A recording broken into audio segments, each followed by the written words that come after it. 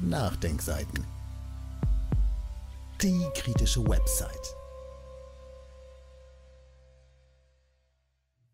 Toxische Selbstgerechtigkeit oder Das waren die Grünen. Ein Nachruf von Leo Ensel, verantwortlich Redaktion. Die heutigen Grünen haben mit der Partei, die 1983 in den Bundestag einzog, nur noch den Namen gemeinsam. Statt gegen die neue Aufrüstungsspirale zu kämpfen, werben sie für die atomare Teilhabe und sonnen sich in ihrer gefühlten moralischen Überlegenheit. Liebe Grüne, nein, der Auftrag für dieses Epitaph kam nicht aus dem Kreml, er kam von euch selbst. Eure Politik, die seit über zwei Jahrzehnten nichts, aber auch gar nichts mehr mit euren friedensbewegten Wurzeln aus den 80er Jahren zu tun hat, was offenbar die wenigsten zu stören scheint, ja, die allerwenigsten überhaupt realisieren, ist einfach nicht mehr zu ertragen. Sie schreit nach Widerspruch. Was Präsident Putin, sollte er tatsächlich nichts Besseres zu tun haben, als sich ausgerechnet über euch den Kopf zu zerbrechen, denkt oder beabsichtigt, weiß ich nicht. Es ist mir auch egal. Kurz und in klarer deutscher Prosa. Ich möchte nicht, dass ihr demnächst die oder den Außenminister oder gar die Kanzlerin stellt. Genauer, ich möchte euch derzeit um nichts in der Welt in der Regierung sehen. Ihr sollt auf keinen Fall die Geschicke unseres Landes auch nur mitbestimmen dürfen.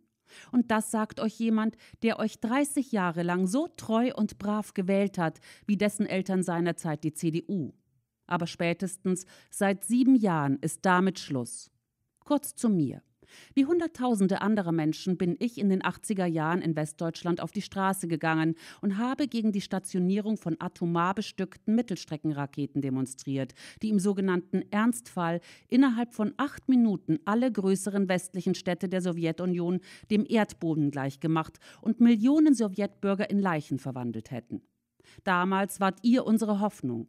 Als ihr im Frühling 1983 erstmals in den Bundestag einzogt, wart ihr das Bein der Friedensbewegung im Parlament.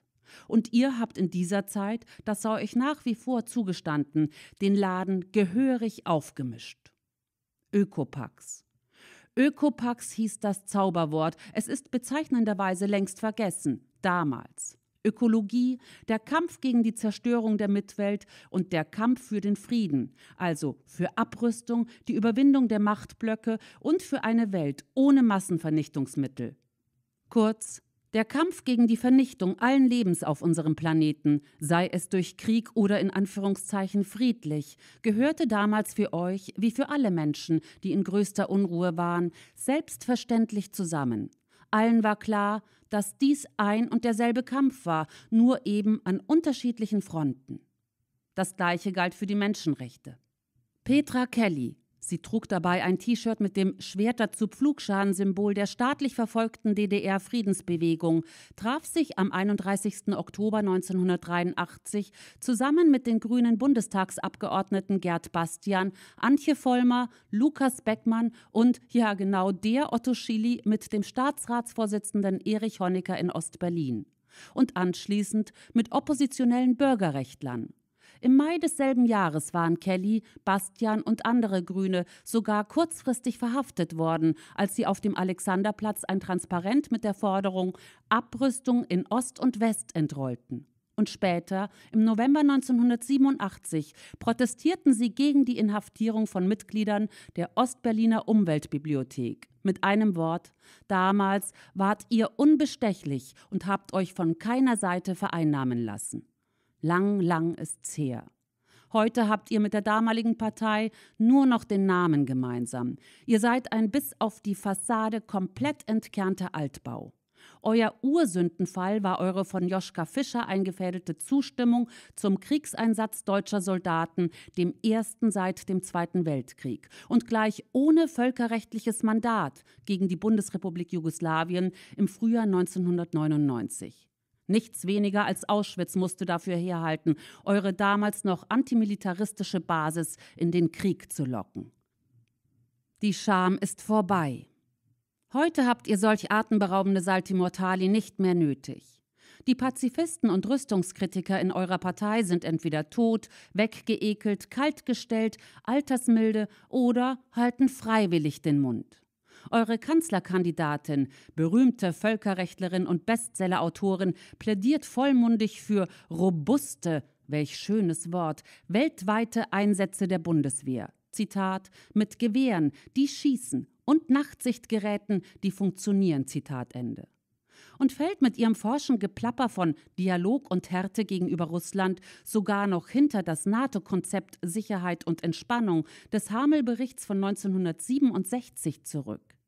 Ihr männliches Pendant im Spitzenduo mit dem gepflegten postrevolutionären Dreitagebart fordert allen Parteigrundsätzen zum Trotz Waffenexporte in das Spannungsbesser Kriegsgebiet Ukraine und muss sich dafür sogar vom Sprecher der Bundesregierung rüffeln lassen.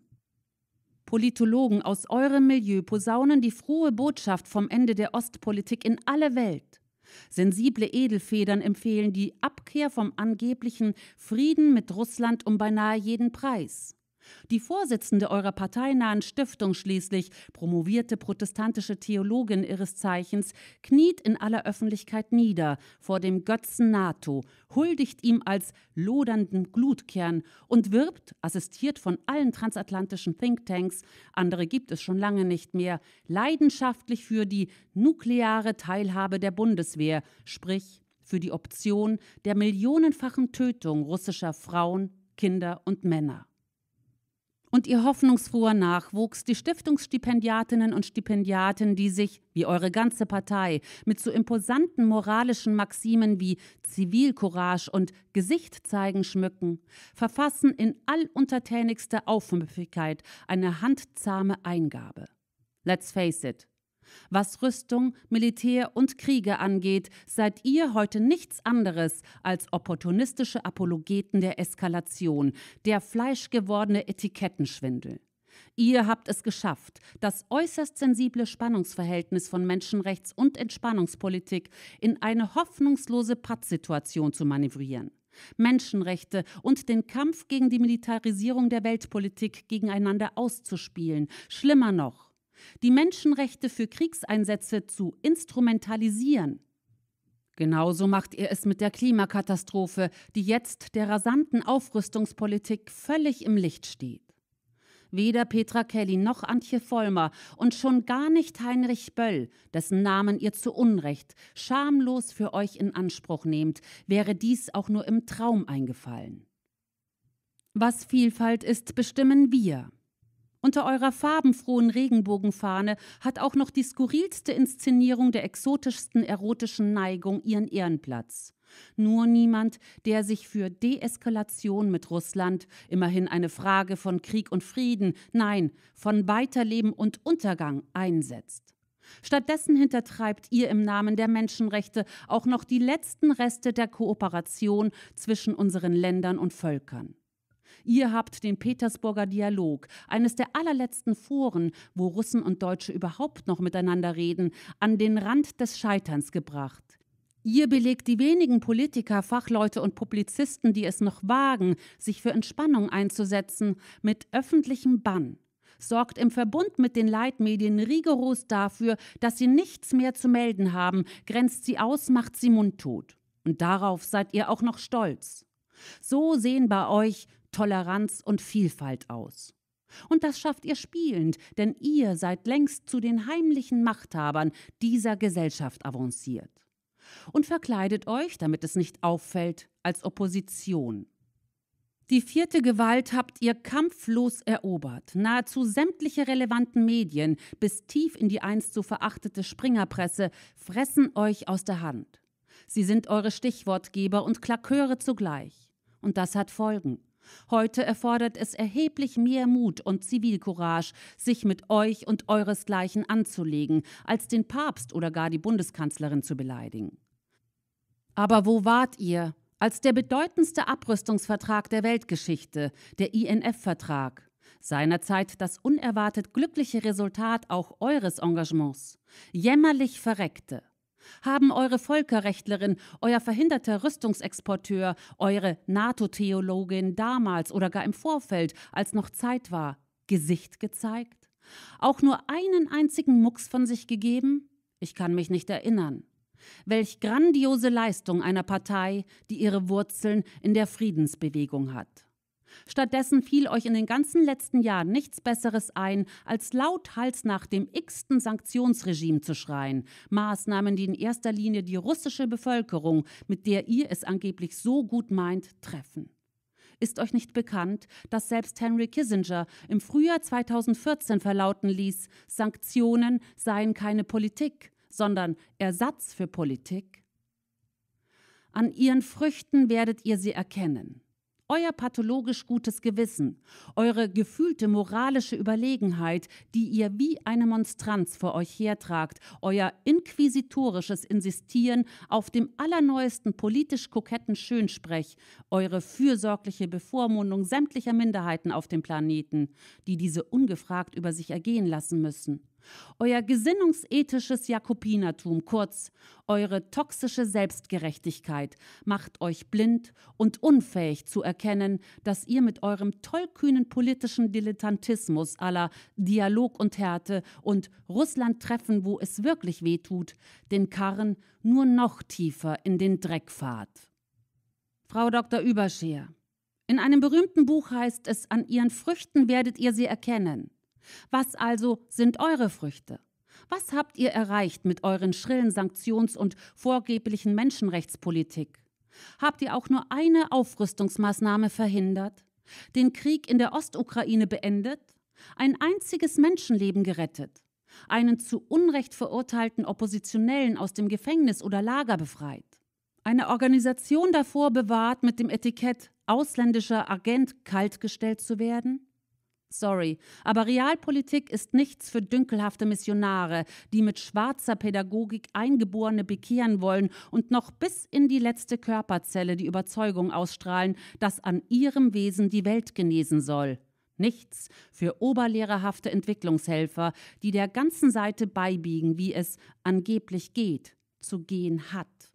Nein, Realpolitik Politik, die wirklich etwas bewirken, sprich zum Besseren wenden oder noch bescheidener wenigstens das Schlimmste abwenden will, und zwar mit den Akteuren, die die Politik tatsächlich bestimmen, die funktioniert anders, geräuschlos und schon gar nicht bekenntnishaft.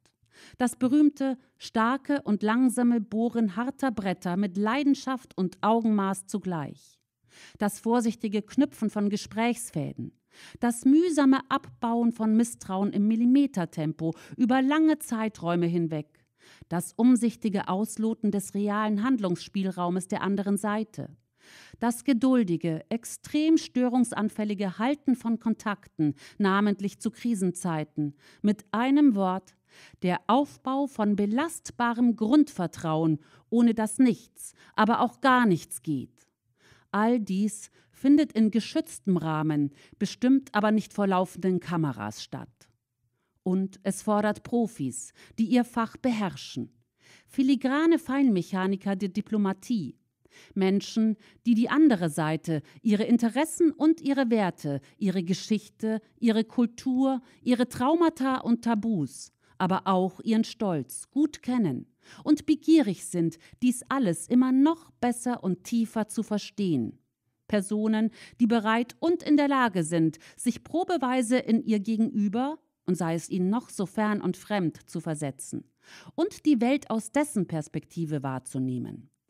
Persönlichkeiten, die sich nicht zu schade sind, zur Not als Reparaturarbeiter die verstopften Kloaken der Politik zu reinigen, sich, wenn es sein muss, gar mit dem Teufel an einen Tisch zu setzen und die über Souveränität und Rückgrat verfügen, öffentliche gesinnungsethische Prügel gelassen einzustecken. Zu Zeiten des, ich muss es leider sagen, ersten Kalten Krieges gab es solche Persönlichkeiten, wie unterschiedlich die jeweiligen Regierungskonstellationen auch aussehen mochten. Und sie waren mal höchst erfolgreich. Liebe Grüne, Hand aufs Herz. Was habt ihr für ein Konzept? Was wollt ihr mit eurer Russlandpolitik eigentlich erreichen? Quellenangaben und weiterführende Verlinkungen finden Sie innerhalb des Textes auf nachdenkseiten.de und im Beschreibungstext unter dem YouTube-Podcast.